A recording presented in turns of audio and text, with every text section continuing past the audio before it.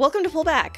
I'm Kyla Hewson, and I'm here with Kristen Pue. Hello. We know that trying to be a good person can be overwhelming in our complex global marketplace.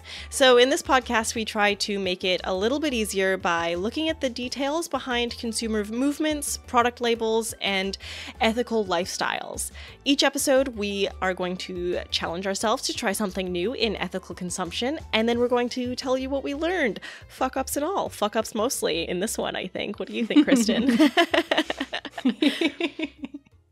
so many fuck ups. yeah, I don't know. Like this, so this episode, maybe I'll just get right into it. We're going to be doing a teeth centric sort of theme.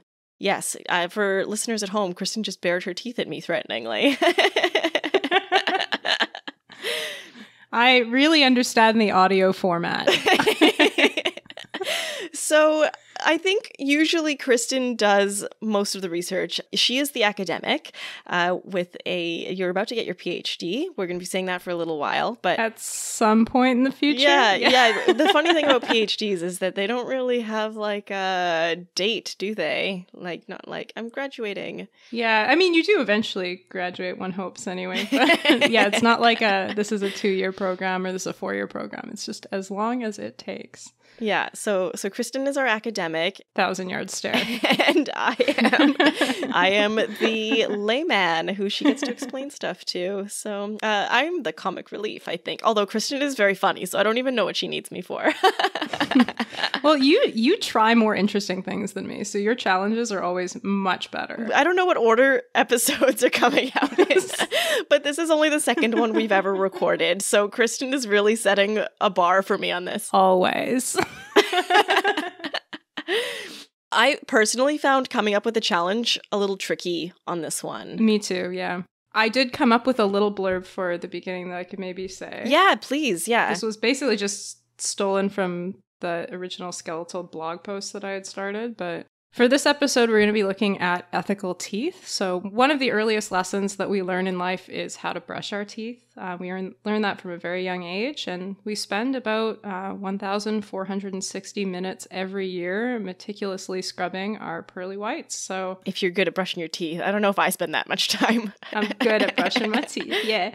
Given how much time is going into our dental hygiene, can we calibrate our daily habit to match our values. So, looking at all the things that we use for teeth cleaning basically on a daily basis or weekly basis depending on the product yeah which was a little bit broad frankly um, I, I, you know at first we thought oh this will be short but then i think we both found that frankly we could have done a whole episode just on toothpaste let alone yes I looked at mouthwash, floss, toothpaste, and toothbrushes. I'm not sure what you looked at. That's perfect. Those are exactly the products I looked at. yes. Crushing it. Fantastic. Professionals. so I think we'll start with our challenges this week. I think that's the easiest thing to do. So today, folks, for my ethical challenge, literally this morning, I put some baking soda in water. um, that's more or less what it amounted to. I use a mouth guard at night because I grind my teeth because I'm a highly stressed person. And so maybe that PhD has something to do with that. yeah, so I have been using mouthwash to just clean the mouth guard every night basically. And uh, I thought, well, that's a lot of Listerine that I'm using and a lot of like plastic bottles that I have to replace and that probably aren't really getting recycled, especially the caps. They definitely can't be basically every month or so i'm using this plastic bottle and also listerines made by johnson and johnson and not only do they test on animals but also as we found out recently um, in september they are a big part of the opioid epidemic so i'm not sure i want to be supporting them and also i'm trying to move towards waste free as much as i can and having to replace a bottle of things is not great so the first option that I tried was buying mouthwash tablets. Uh, so I bought a set of mouthwash tablets from Georganics is the company. And I purchased it through a waste free shop online, actually. It's a Well, it's a physical store called Package Free Shop, but they also like you can buy online from them and it's really nice you when you purchase products from them you get it in a recyclable cardboard box, which is actually the cardboard box from this order is what I use to hold my microphone when we are not recording. So, it's kind of nice.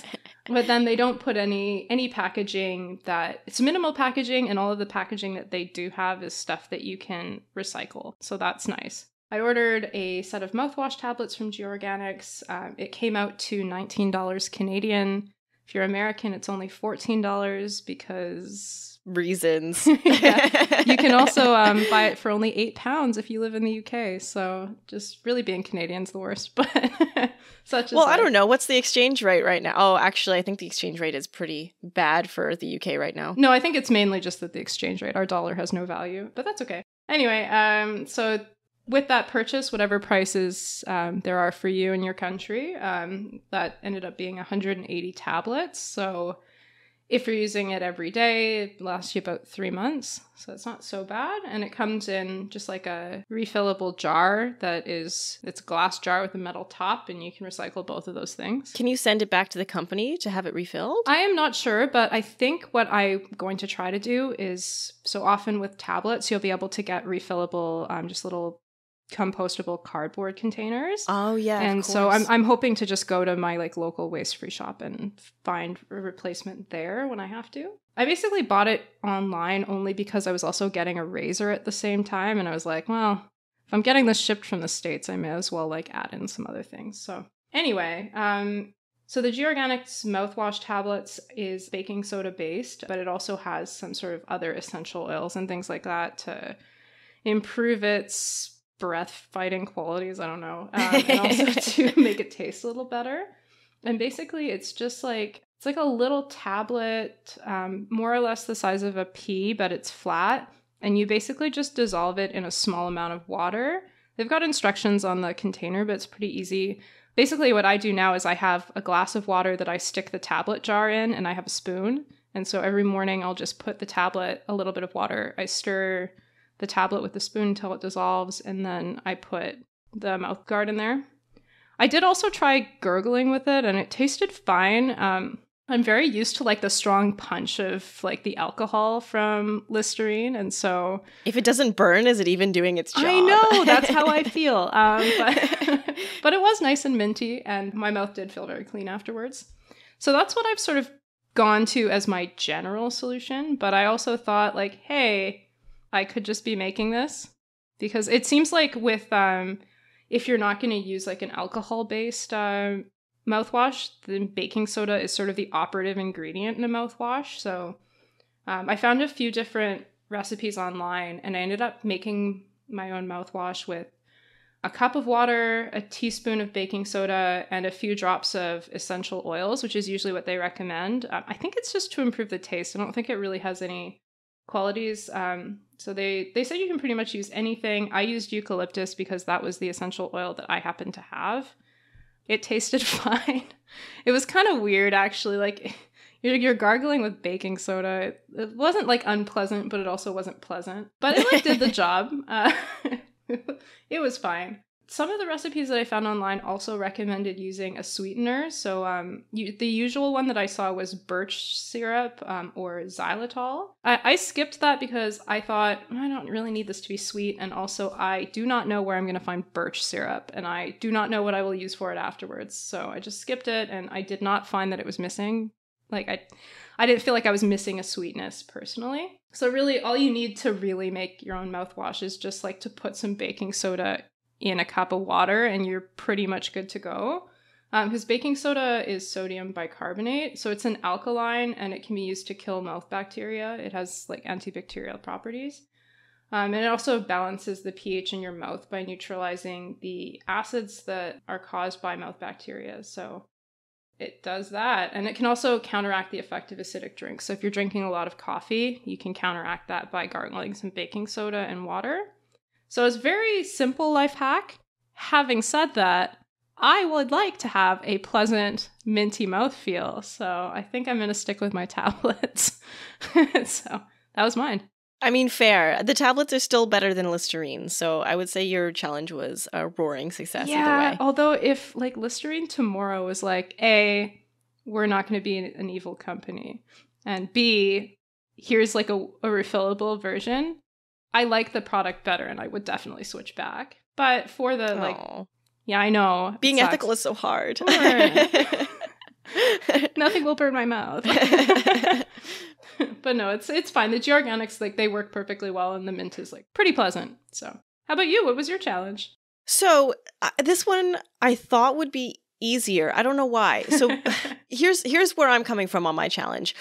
Last year I did plastic free July. So I kind of already challenged myself because during my plastic free July I ran out of toothpaste and floss at the same time. So what I did last year was I bought some toothpaste that comes in a solid bar form on a wooden stick and it came in like a little wooden packaging and I bought it from like a little vendor that I saw in Spitalfields Market in London. So it was waste free and it was solid, which I kind of liked. I can't remember the brand, uh, which is good because I have nothing nice to say about them other than they were waste free. Gosh, it it was super gross. It tasted awful. I had nowhere to keep it. Uh, it was hard to get my toothbrush to like pick anything up off of this thing. It got really messy. Yeah. It was awful. It was like a weird lollipop, and I hated it. So I'll be honest, it was waste free until I threw most of it away. So that was a real shame. And then last year as well, so for the floss, it ended up being a little bit better. I bought Mm. my floss from Georganics. Oh my goodness. Nice. so we're both shouting out Georganics. The one that I bought was using uh, Candelilla wax, uh, Candelilla, Candelilla wax. Mm. And unfortunately, it was using a polyester string, which I know isn't perfect because you still can't really compost polyester and it makes quite the energy footprint to produce. But at the time, I was mostly trying to avoid the plastic packaging and go waste free. And I couldn't really find a decent alternative that wasn't silk, which I don't know. Silkworms, I was reading about silkworms recently and it bums me out. I know they're worms, but also like the story behind Yeah. silkworms. They're boiled alive. Yeah. Yeah. Yeah, it's a real bummer. I feel a little bit better about honey than I, I do even about, you know, like we're not boiling bees alive usually. I don't know how we're harvesting the whatever. Honey's going to be a whole episode, I'm sure. But Every episode, we're just going to mention it and never do an episode on it. so so the nice thing about the Georganics thing was that it obviously it came in the a glass reusable dispenser Mm-hmm. uh, and the packaging like you said came in the compostable paper box it was the best i could do at the time unfortunately i didn't buy it from their website i stupidly bought it from amazon so it was still a little bit evil at the time but what are you going to do to amazon's credit they sent it without any plastic in their packaging Yeah, I can also mention for the for the floss. Um, I've been using a vegan waste free floss for a little while. It is called Floss Pot Gold, and it's uh, with corn fiber and it's coated with uh, Candelilla wax. They're great. It comes in a little glass jar with a little lid, and then you can use the refillable paper things. I, I was able to find it. So Whole Foods does not have the vegan version. It only has their nylon one, or, or sorry, not their nylon one. It only has their beeswax one. I was able to find at just another waste free store in Toronto. I was able to find the gold version. So I think if you just like go through your neighborhood and go to enough stores, you'll find it. cool yeah i like that they're compostable Yeah, the Flosspot Gold is made from corn, so you can compost it. Usually the vegan ones are made from nylon and you can't. Yeah, so I'm a big fan of that. And when I run out in uh, 10 years of floss from True Organics, I'm going to switch to Flosspot Gold. so, for my part of the challenge, I thought that it would be pretty easy to come up with an ethical alternative to my daily oral care. I was deeply mistaken, at least on the first challenge that I set myself. So, the first challenge that I tried to give myself was that I need a new toothbrush. You're supposed to change your toothbrush like every three months. I don't want to tell you when the last time I changed my toothbrush was, but it was a little bit more than three months ago. I've been using a bamboo toothbrush, which is fine, yeah. but it is time to change her up. She is not clean. So I decided that now that I'm back in Canada, I would like to pick up an electric toothbrush. My mouth is always happier with those because I'm a lazy brusher. I was using one back in London and I could have brought it with me, but well, not really because technically it was my friend's, so I left it behind. Okay, don't worry. I started with a clean head and I left him with a clean replacement. Eh, no, we weren't sharing, but yes, I am a total mooch. So I did have somebody on a road trip once that accidentally used my toothbrush. And I didn't know what to do because we're in the middle of this trip. And uh, so I was like, okay, fine. And I just like rinsed it and used it again. And my other friend was horrified. I mean, you know, whatever. I'd do that. What usually my friend's not sick. We share drinks, right? Yeah. Like cooties. I don't know. I wasn't using my friend's toothbrush regularly. And I, I wouldn't do it under ideal circumstances, but. But I did find two electric toothbrush options that seemed like they might be viable. Unfortunately, one of them was a prototype that you cannot buy yet and I couldn't find a release date. But apparently, it's supposed to work when it comes out with like an old timey sort of crank system. What? It's from a website called goodwell.co, and I can't vouch for it because it doesn't technically exist yet. But if anyone wants to pre order it and let me know how it goes, I mean, please, you know, shout me out, let me know. And then the second option that I found was from a company called Foreo, and their electronic toothbrushes were $189, which, as someone who is currently job hunting, it's just not feasible. So I basically failed my first challenge right out of the gate because I just couldn't justify ordering a $200 toothbrush. I will just have to be less lazy with brushing. So while I was doing this research, I also found an interesting article from uh, greenlifestylemagazine.com that I will link to that basically is an Australian website that pointed out that the energy usage of an electric toothbrush that's left on constant recharge is equal to the daily energy usage of a toaster. So that's fun. Manufacturers often recommend leaving your brush on constant recharge, but that can wear out your battery. So you're using more energy, you're replacing the battery or the whole toothbrush more frequently, depending on the design it's not waste free at all. So, you know, I, frankly, if I want to be a more ethical person, I'll just keep using my bamboo toothbrushes, which are compostable, which you can pluck the nylon out of, and you know, I'll just brush my teeth better. Yeah, that's that's a thing though. The uh, the bristles. So most people will just like assume I've got this bamboo toothbrush I'll just throw it in the compost. But most of them have nylon bristles that you can't actually compost. So you have to, you do have to take the bristles out. Is nylon four compostable? I think it is. I, okay, yes, there is a kind of nylon that is compostable, but not in like your city's compost. You have to do a like you have to like put it in a special kind of composter.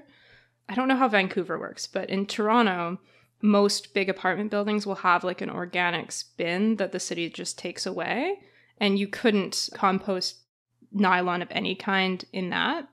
Um, there is a type of nylon that you can compost in like industrial composters, but you'd have to seek that out. It's a special one. So in general, it's just best to just take out the bristles. If animal rights isn't your jam, then like you can go waste free by having a bamboo toothbrush with pig hair. That's a, an option. For me, not so much, but for other people, maybe. Yeah, I'm not a huge fan of that myself. Like a, a couple of nylon bristles, I think, are worth the life of a pig, in my opinion. Although, I agree. I don't know. Totally the pigs? I guess probably it's just like an offshoot of the pork industries where they're getting their bristles usually. But I guess you could just shave a pig and let him go about his day. Like, I don't know. so, yeah, I don't know how I don't know how that works, but um, for for my money, just uh, taking the nylon bristles out of the bamboo toothbrush is the best you can do. And there are a lot of companies, like most companies, that are putting out bamboo toothbrushes, especially if they're doing it in compostable or waste free packaging. Like they're they're trying to find a vegan version or a, a, compostable version that's not pig hair you know so someday we'll have something eventually hopefully they'll get there yeah. yeah. so i ended up giving up on the first challenge because it turns out what i'm already doing is perfect i just need to be a less lazy brusher and mm-hmm. i went ahead and gave myself a second challenge that would be a little bit more exciting because this one kind of didn't really get out of the gate so i went ahead and made a simple alternative toothpaste i've always used sensodyne but i recently realized realized, thanks to Kristen actually, that it's not cruelty free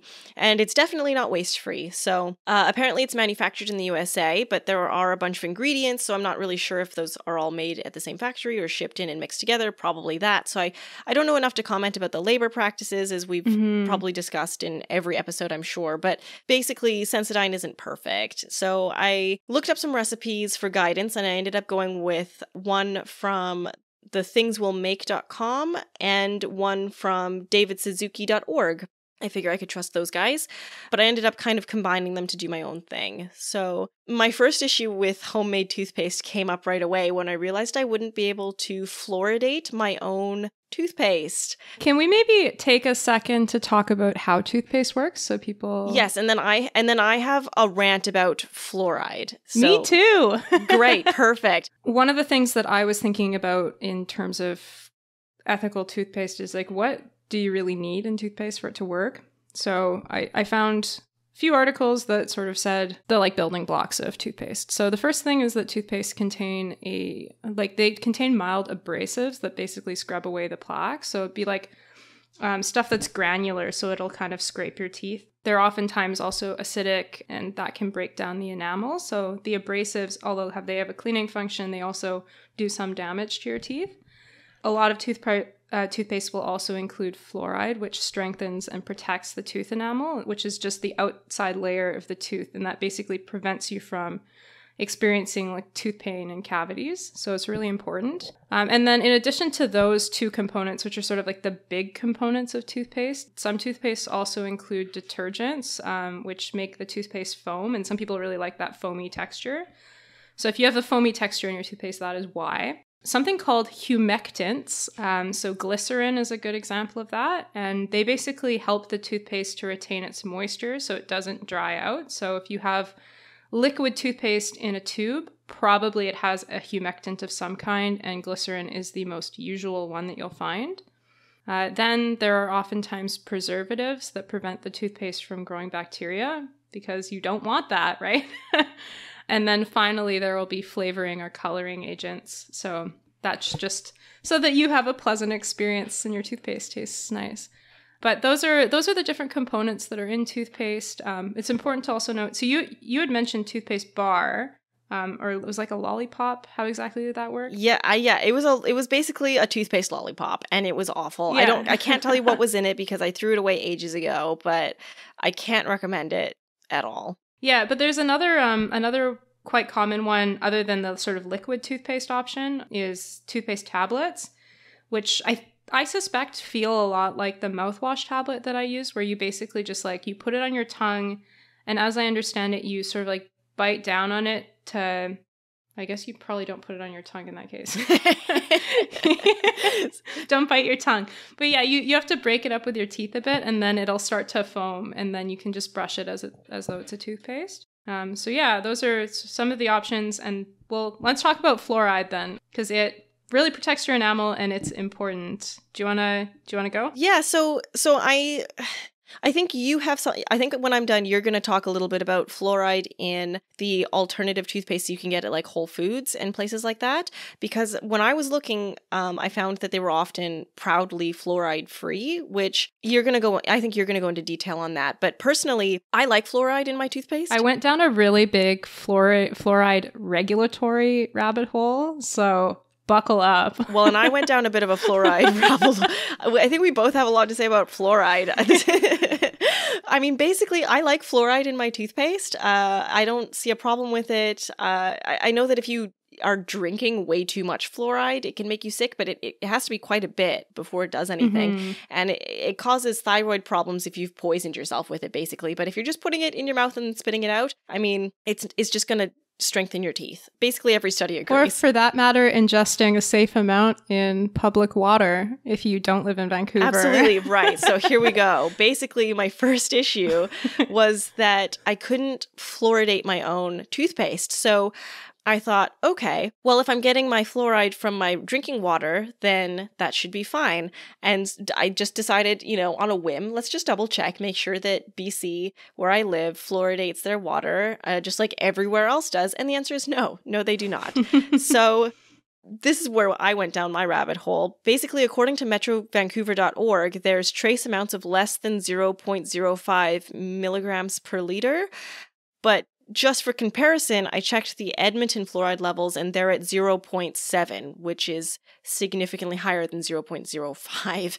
Uh, that's according to epcor.com. Although what it actually is when you test for it, I mean, I, I don't know. But according to epcor.com, which is I think where the water regulation comes in. It should be at 0.7. So basically, I have to figure out how I'm going to keep my teeth strong with this homemade toothpaste. I honestly considered going to a pharmacy, asking for fluoride drops over the counter, and putting them in myself, but I didn't want to accidentally like overdose myself or something. I don't know what I'm doing. I don't know how it's going to mix in. I, I yeah. Yeah.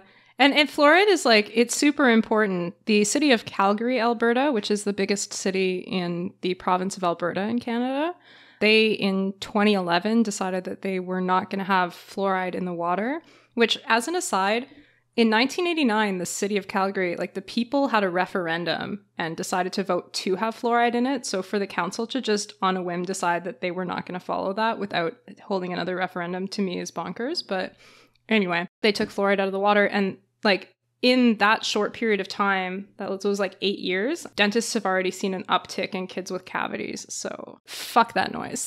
fluoride is so important. Don't add We're both me. hippies that are pro fluoride. What do you want from us? So, and it shouldn't be this hard to get fluoridated waste free. Uh, yeah, yeah, So I went to um, 123dentist.com, which is a legitimate source. I mm-hmm. double checked. And according to them, it sounds sketchy, but I Googled it and they're legit. So it does sound sketchy. but this is a legit, like, scientific, like, dentists are a part of this website. So I found some foods do contain. Sure. Tra- Four out of five dentists yes. agree that some foods do contain trace amounts of fluoride, but I would need to consume like 30 portions of the very few foods with natural fluoride in them per day. And I just, you know, I can't. So the best thing that I sort of found for my own homemade toothpaste was to use cacao as an alternative. I found a couple of small studies that have shown that it may work as a bit of a fluoride replacement for strengthening your teeth. And also, they have like a little bit of like the abrasiveness, like the the fluoride that I there's the cacao that I bought was um solid, so I had to grind it up myself. So it's gonna have a little bit of a texture to it as well for brushing stuff off. So I went ahead and just put cacao in this as an alternative. It's the best I could kind of come up with for homemade. Yeah. So I think there's like there's a real problem right now in the sort of ethical toothpaste space where I personally would like three things in a toothpaste. The first thing is fluoride because I do not want to get cavities. The second thing is I would like it to be waste free, so the container just needs to be compostable. And the third is that I would like it to be animal product free. And it really doesn't seem that hard to do those three things. And you can find toothpastes that do two of those objectives at the same time, but it really seems like right now you have to choose between them. It, especially the case for like if you're trying to do waste free, a lot of the times you just can't find toothpaste with fluoride in it. I did end up finding a toothpaste that had fluoride and was waste free. There's a Burt's Bees toothpaste that I was able to find. But the problem is they they have glycerin in it and it didn't specifically say that it was non-animal glycerin so i'm assuming it is it also doesn't say vegan so i'm assuming that i'm eating or i guess spitting out animal products which is not ideal for me but i'm for the time being it's the best there is but there, there really there aren't a lot of options out there if you want fluoride and you don't want waste like plastic packaging. Like I, you know? I don't understand. I popped into a Whole Foods when I got into Vancouver, and all of this like natural, you know, quote unquote toothpaste mm-hmm. on the shelf, they were all proudly fluoride free. It was like the very front thing on all of the boxes, like non fluoride. And I'm like, how are there mm-hmm. 50 versions of the same toothpaste? Like the point of having choice is that they should be different, right? So I want an ethical mm-hmm. toothpaste made from mostly natural ingredients that keeps my teeth strong, but apparently I'm the only hippie in the yes. world that wants that. So So you're you're not for sure cuz I mean, me lots of I, I know a lot of people that are in the same situation. So is there a reason that they're not putting fluoride in their toothpaste? I have a theory on why this is the case, why there are so many fluoride-free options. So two explanations. One being that like the initial sort of naturalist uh, movement has a lot of people that are in the like anti-fluoride conspiracy theory subset out there. That's obviously like part of the problem. But I think the second problem is regulation. Or maybe not problem, but the second reason that we there are so many fluoride-free toothpaste out there, it's that you are regulated differently in making toothpaste based on whether it has fluoride or not. So I went down a really big rabbit hole here. Um, I looked at the US and Canadian regulations for toothpaste, and it's pretty similar actually. So basically, in both countries, if you have fluoride in your toothpaste, it's regulated as a drug. And if you don't, then it's regulated as a cosmetic. Now, the reason that matters is that you have a lot more hoops to jump through if you're regulated as a drug. So if you're like Joe toothpaste maker out there and you want to produce a toothpaste that freshens breath, you can put out a toothpaste without fluoride in it and you don't need to get pre approval. You just put it on the market and it has to basically. Like it has to be vaguely safe, and like if people complain that it's unsafe, um, you might get in trouble. But you don't have to get pre-authorized approval to put the product out. Whereas if you're doing a toothpaste with fluoride in it, you have to essentially you have to go to the regulator and they have to check that it's safe and it has to have a certain amount of fluoride in it and it has to be packaged in a certain way and have a certain amount of safety labels. All of which i think are great things and even more reason that you should go with only fluoridated toothpaste. But it also is a, a big reason that you see a lot of companies that don't have it right? Like lush big example. They have a bunch of toothpaste tablets. I would love to see a fluoridated toothpaste tablet but none of them are fluoridated right now. And i don't specifically know this for the case of lush but i would imagine part of the reason is that it just takes longer. You have to go through um, like health canada if you're going to sell in canada and get that authorized in advance. So I, I think that's part of the reason and that makes me suspect that like the waste free movement's pretty new. So given that and given that a lot of people, I think, in the waste free movement today are people with immense climate anxiety that aren't necessarily like the same group of people that would be waste free like a decade ago. And a lot of us, I suspect, want to be cavity free and don't really mind fluoride. so I suspect those products are coming in the next five years. It just, you know, it's going to take a little while. Well, we demand it. If any toothpaste manufacturer is listening, I, yeah. we will buy your product if it is ethical and waste free and fluoridated, please. and preferably if it has the um, American Dental Association or Canadian Dental Association seals, because I always look for those. Oh, fantastic. I want to take yes. risks with my teeth. so I made this toothpaste. I'm not fluoridated. And both of the recipes that I was looking at were also calling for something called bentonite clay, which is supposed to help with consistency and apparently has good pH levels. But I was doing this I was doing this challenge when I was in Salmon Arm, BC, uh, in the month of August, and I couldn't find anywhere I mean, I'm sure that maybe if I'd looked really hard, I could have found bentonite clay, but I couldn't. I couldn't find it while I was there. So I went ahead and left that out as well. My options were limited. so what I wound up doing was uh, four tablespoons of coconut oil and two tablespoons of baking soda, which was actually really weird. When I was looking at the various recipes for baking soda to coconut oil, some were calling for like a teaspoon for, against like three tablespoons of coconut oil, and some were calling for like half the amount of coconut oil, which would be like two tablespoons uh, to four tablespoons of coconut. So the, the the ratio varied wildly, and I'm not sure how much baking soda is too much baking soda in toothpaste. Mm. Uh, so I just went ahead and did the four tablespoons to two tablespoons baking soda because I don't know, it seemed easier. And then I dropped in two teaspoons of ground cacao nibs. Uh, shout out to my dad who helped me turn the nibs into powder with a mortar and pestle and some elbow grease. I mean, I did my best, and then I was like, Dad, can you finish this for me? and he kindly obliged. Uh, and then I added five ish drops of peppermint oil, just kind of give it a, a flavor. Um, I popped it in the fridge for 10 minutes because it was pretty liquidy, I'll be honest. And when it came out, it was a pretty good consistency. Dad said that it smelled like an after eight, which is similar to what it tasted like, frankly. Yeah, it wasn't totally unpleasant. Um, That's not bad. That was my yeah. first experience with it. Now I've been using it for a couple of days, and I have a follow up to my notes that I had from the day that I did it. It got kind of hot yesterday, and my toothpaste melted into liquid again. I popped it in the fridge to thicken it and I left it in for too long and it turned rock, rock solid. So oh, no. it's like, I, frankly, this bentonite clay is sorely missing. I'm pretty sure that would give it a way better consistency. So at first I thought, okay, yeah, I think I would do this again, um, as long as I don't have any adverse gum reactions or, you know, I get a bunch of cavities.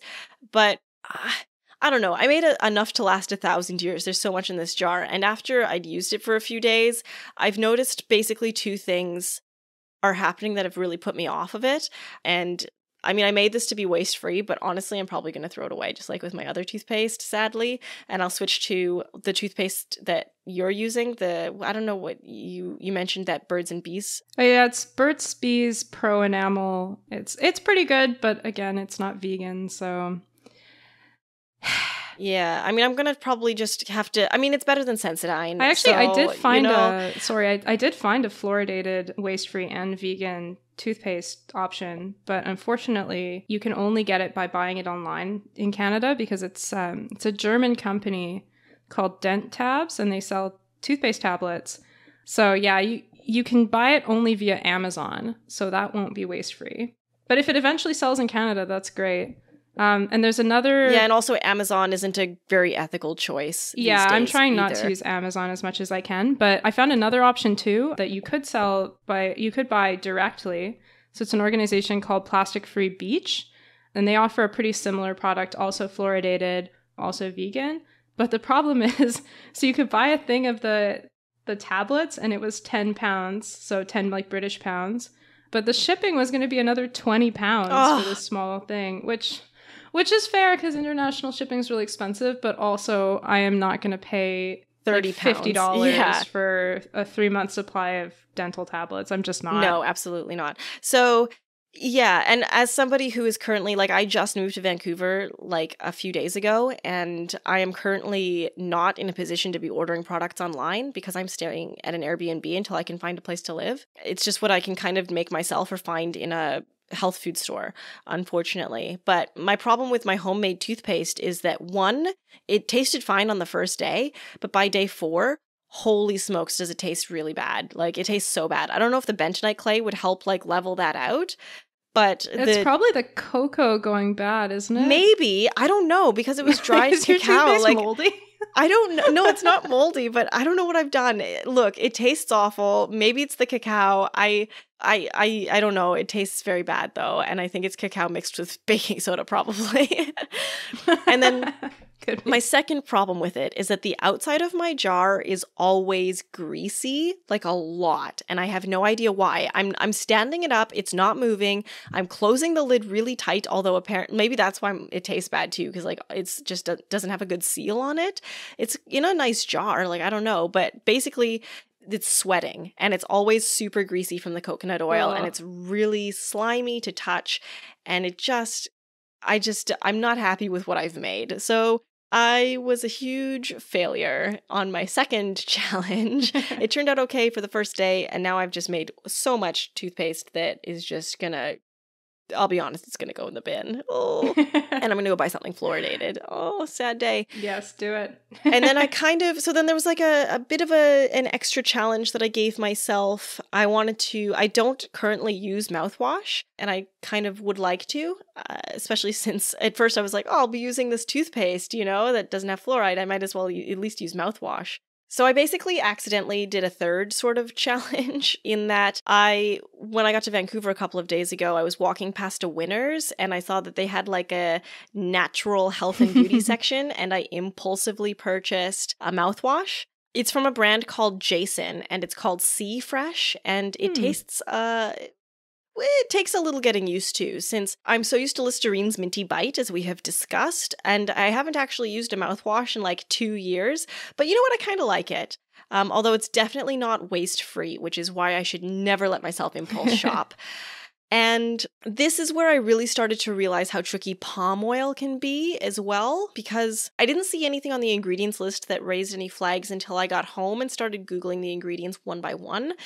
And look, this product has the Leaping Bunny stamp of approval. Their website says that they're vegan. hmm Yeah, Jason, I think is a fully vegan company. Yeah, and I also see, unfortunately, that they're using, you know, they have to use glycerin, as we've already talked about, and they don't say what they're using the glycerin is made out of. Like, well, they're not saying what the glycerin is, so I can kind of assume, unfortunately, most of the time when it's not animal product, it's palm oil.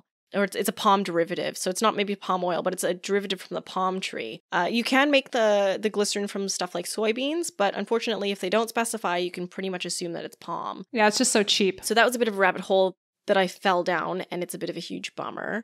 Although I will say that Jason has a really cool website that does list what all of their ingredients are that they use in their products. But like I said, I, when I looked at their glycerin, it didn't specify which source they use. So I could email them and double check to see if it's palm, which maybe I might actually do just to, you know, if we don't hold companies accountable, they have no reason to change. Like, yeah. like, hey, you guys are doing a really good job. Can you also be perfect?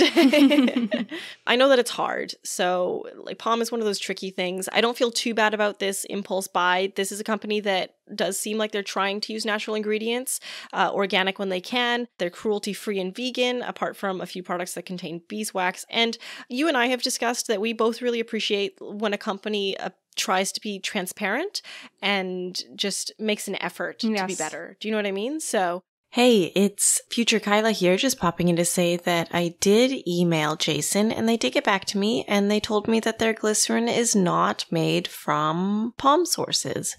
So good for them. All in all, seem pretty decent. You know, shout out there, but yeah, definitely not waste free. So not a perfect choice, but I'm happy with it. Uh, I'm happy enough with it for now. Probably I'll just make my own mouthwash next time since it's as easy as dropping a teaspoon of baking soda into a cup of water. yeah, it really um, was the easiest challenge in the world, but well, and then I also, while I was at Winners, impulsively bought a new bamboo toothbrush. I don't think that they use nylon for bristles, but frankly, I wouldn't know right now where to begin composting that anyways. I don't technically live anywhere yet, so we'll have to see what my neighborhood's recycling policy is when I get there. I also, uh, frankly, Kristen, being ethical is exhausting because even though these toothbrushes so come in compostable packaging, I saw after I got home that they're made in China because, of course, they are. And I just didn't think of it when I was in the shop. So now I feel bad because I bought from a big box store. The bristles are straight trash. I'm not sure what the working conditions are in the toothbrush factories in China. And the energy expenditure to get the brush to North America. I mean, did the cargo ship holding my toothbrush give a whale a headache on its way over here? How are we going to be better consumers? this is a really inspiring and happy go lucky ending to you. I, I bought a toothbrush and I feel bad. no, it's so hard uh, for real. I, I guess that's the whole reason we started this podcast, though, right? Yeah, it's like, how do we be better? I know you haven't watched The Good Place yet, but shout out to my favorite television show, which I actually just rewatched for like a third time last week instead of doing anything productive. But it's a really, really good show that kind of goes into this sort of thing in a really funny way. And uh, frankly, it's the existential crisis of our time, isn't it? Like, ah, how do we be good without yeah. living in a shack in the woods? Yeah, it's so much harder given how complicated global supply chains are. You really, it's impossible to get all of the information that you'd need to make good decisions.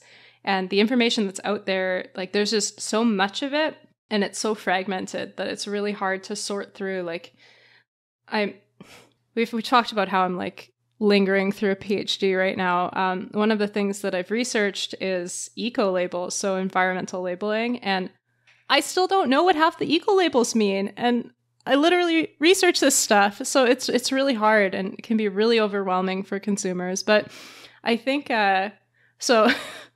one of my dearest friends is very known for her kitschy sayings, and uh, one of them is "Don't let the perfect get in the way of the good."